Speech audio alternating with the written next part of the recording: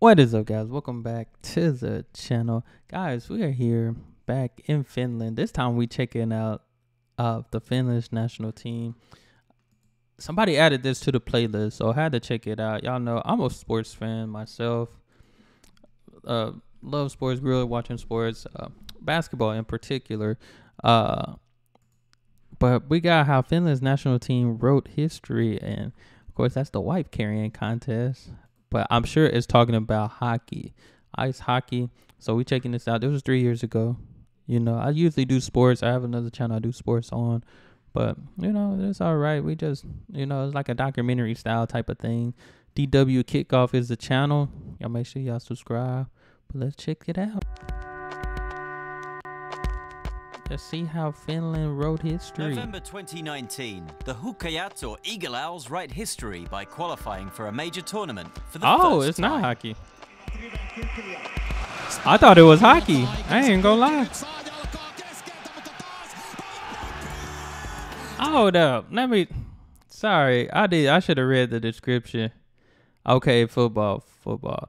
Okay, I'm used to doing when it comes to Finland doing great things in sports. I'm used to hockey. That's my B. That's my fault. That's my fault. But we here football. They okay. Nice. Uh, he flying in the air.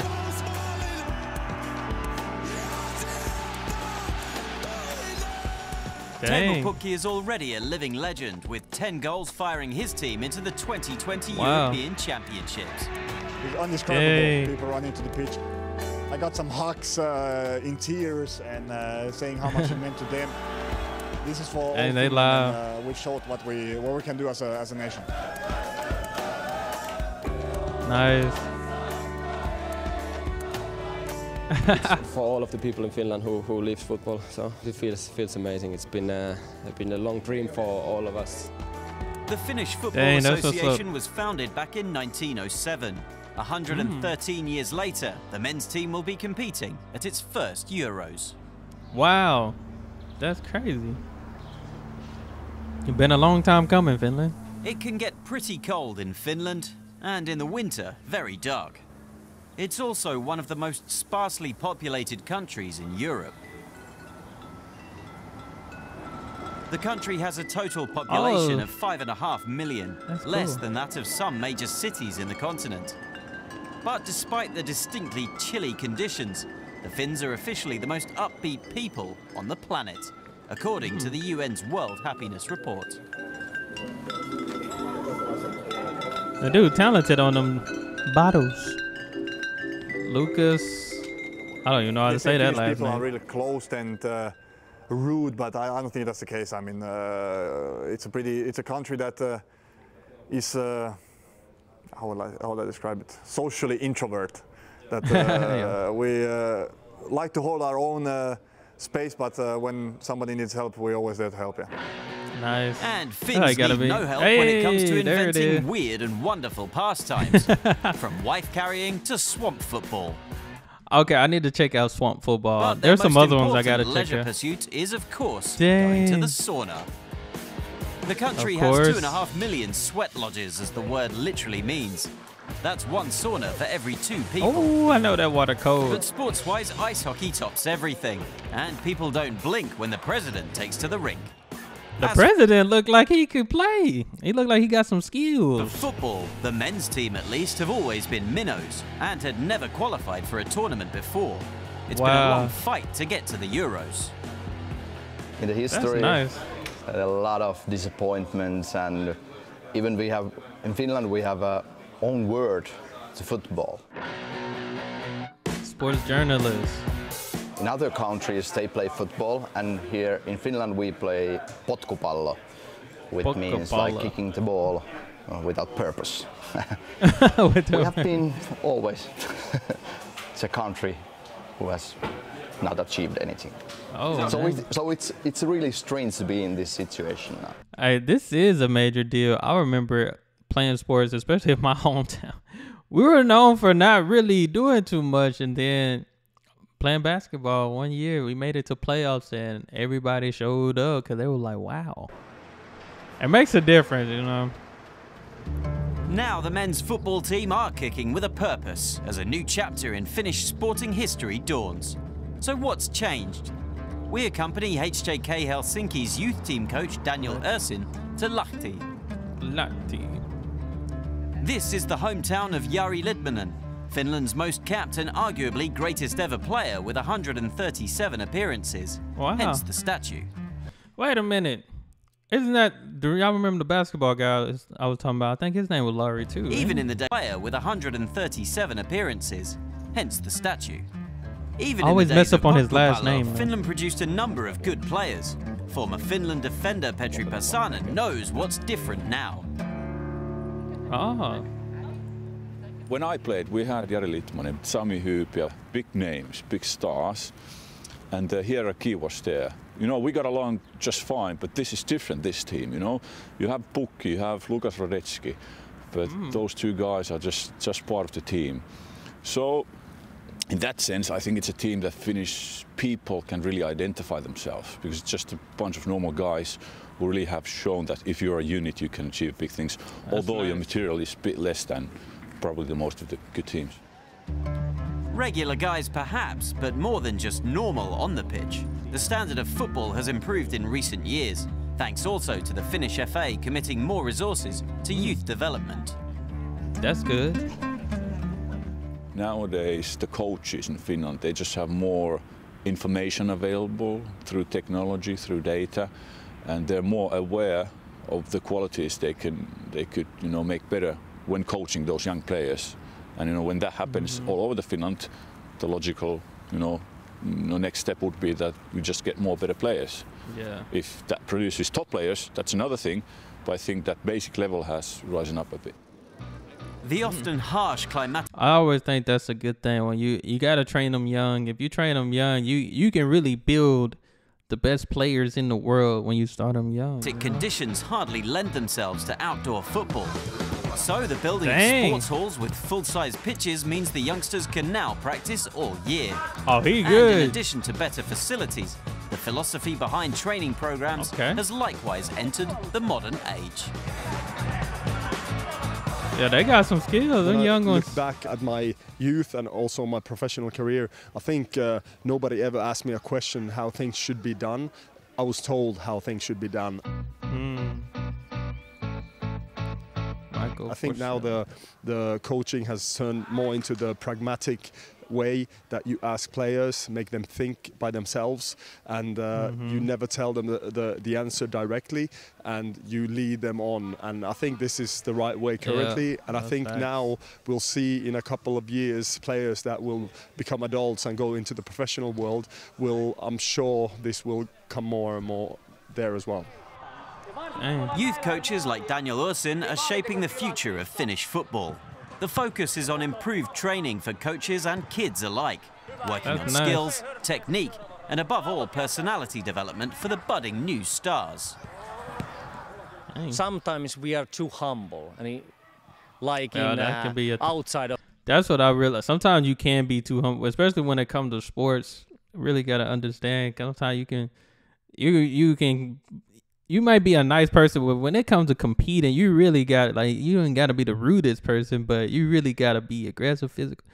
That's what I had to learn because I was a nice person, but I'm like, when it's game time, it's my time. of the pitch. Gotta show and then we are too kind, but we try to change that. Of course, we have to teach them good values like respect the opponent and all Mhm. these kind of things. But it, but I think uh, you have to be a little bit, how do you say it, uh, aggressive. Yeah. Yeah. That's The dream fact. of a new golden generation is well and truly alive.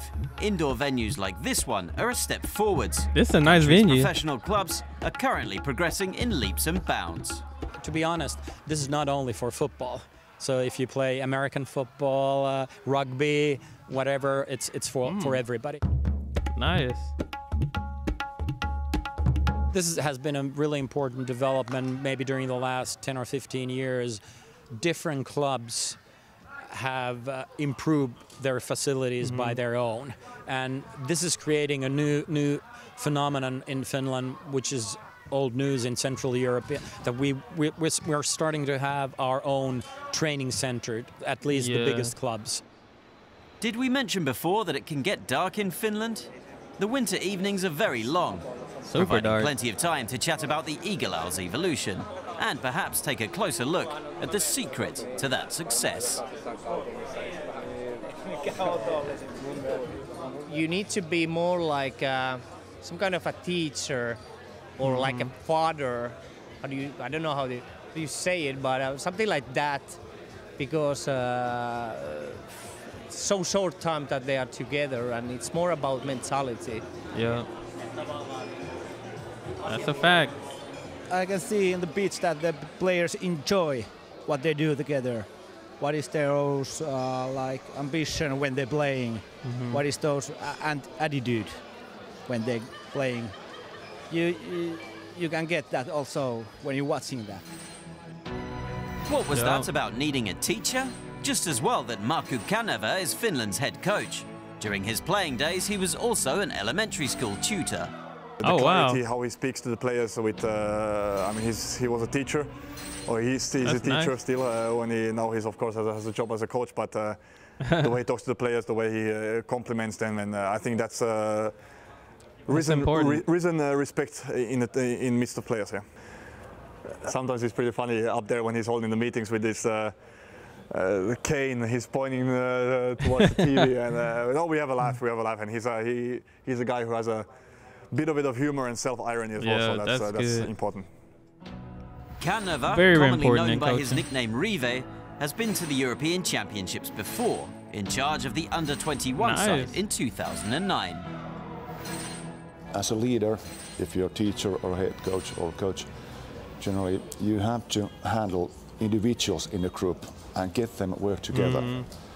And of course, um, That's true. I learned a lot when I worked as a teacher, and, and, and those tools I got from that education I have used as, as a coach as well. But I don't want to take all the honor. The honor belongs to the players and, and the whole team, including staff as well. I like the way he The thinks. Eagle Owl's He's a good high-flying coach. achievements Seemed have been like one. duly honoured by the press, with the association's Media Day event attended by domestic and international journalists. And the media can always be counted on to conjure up a catchy name for a new Of phenomenon. course. We have this word revolution, which is Revolution. comes from this name, nickname Rive. It's happening now, the re- revolution. Rive. You can stop the Revolution. revolution. Dang, that's dope. Yeah, I honestly thought they was talking about hockey for it.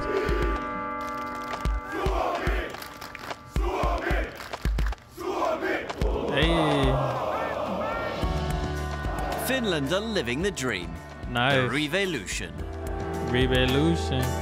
No, I'm Revolution. speechless, so uh, thank you, thank you, Finland, and uh, I hope I did you proud. Yeah. Hey. We're not going there just to lose. We, we, we will go there to try to get some points and, and even go through from the group stage. I hope that this will inspire and motivate They people got working one the in shower. football. The kids, all the football players, the parents, uh, coaches, everyone. Oh, this was nice. This was nice.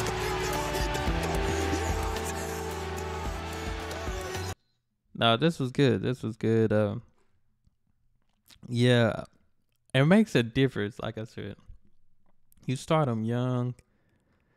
Man, it's always good. But shout out to Finland. I don't know, um, cause I see the women's the women's soccer uh football teams have been playing.